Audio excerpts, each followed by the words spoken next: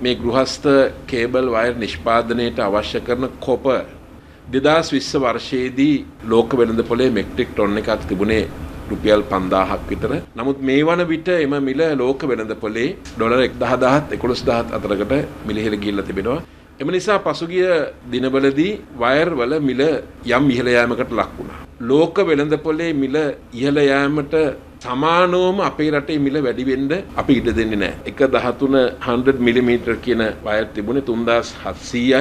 ඒක 3495ක මිලකට ලබන පළවෙනිදෑන් පස්සේ අලෙවි කිරීමට ඒ සමාගම් කැමැත්ත පළ කරලා තිබෙනවා.